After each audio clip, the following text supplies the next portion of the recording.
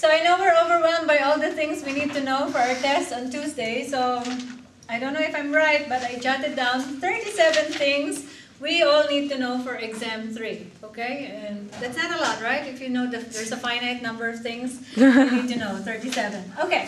First one is the definition of an inner product, and I don't need to bore you with these, right? You need to know all the four properties, okay? Second is the matrix of an inner product, and I think I heard people say maybe that's a hard part, right? Yeah. So let's go through, go over this and let's review what, what happened actually when you were trying to find or define the matrix of an inner product. Anybody want to help explain this? You start with, what is this? An ordered basis, and then, do you guys understand what this notation means? Uh. To form the matrix C, the entry Cij will be obtained by what?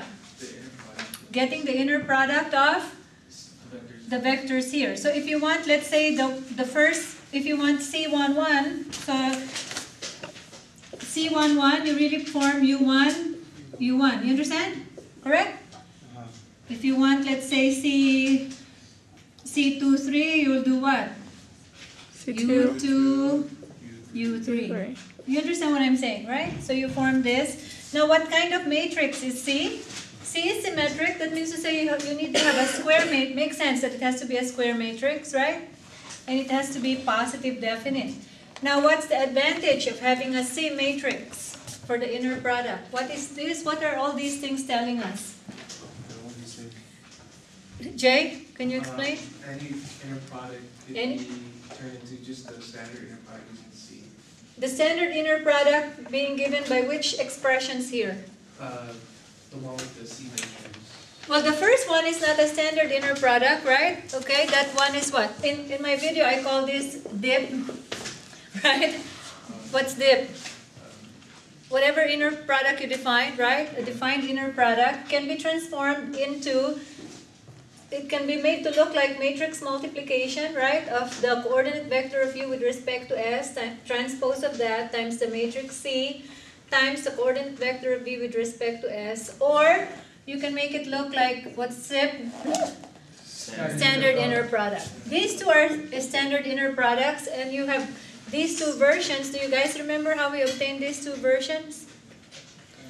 From here to here, right? Remember, this is now like regular.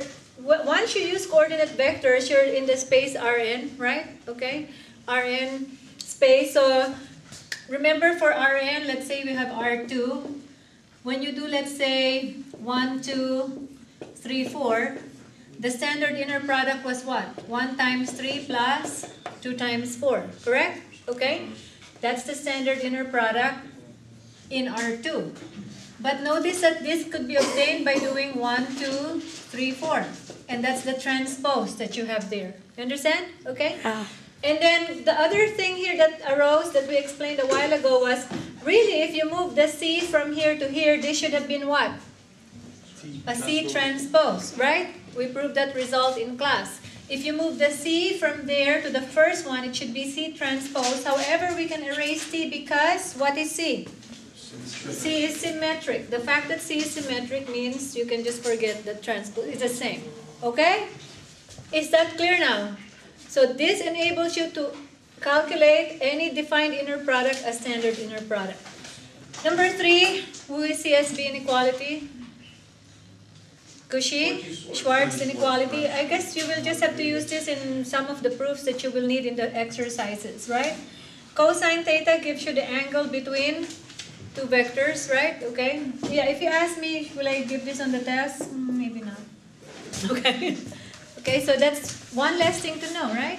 Have you already written the test? Yes, I have written the test. So yeah, uh, that's a giveaway So- for you, okay? Don't have to It is worry. not on the test. okay.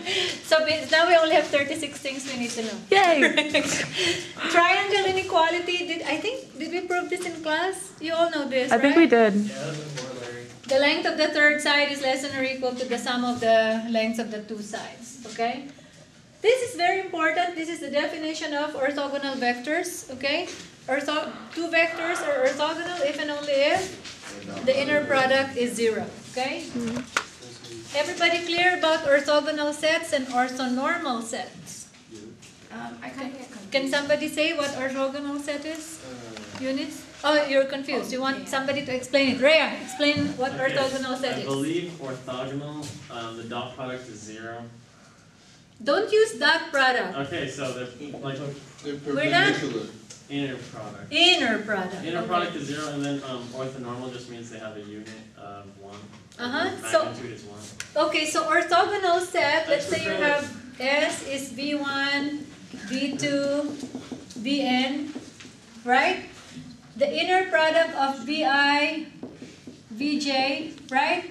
I not equal to j should be zero. You understand why I should not distinct, right? The, or, the inner product of two distinct vectors in this set should be equal to zero. That means they're orthogonal, or some of you think they're perpendicular, right? Orthonormal set, same requirement, except now we add the condition that what? The magnitude of each VI should be 1.